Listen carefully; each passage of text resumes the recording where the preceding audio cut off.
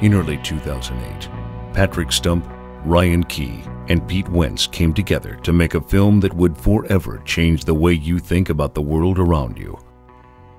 It's a story of lost love, revenge.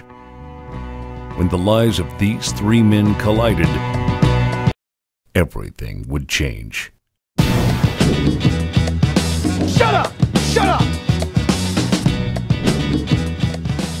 Writer. What do you expect me to do?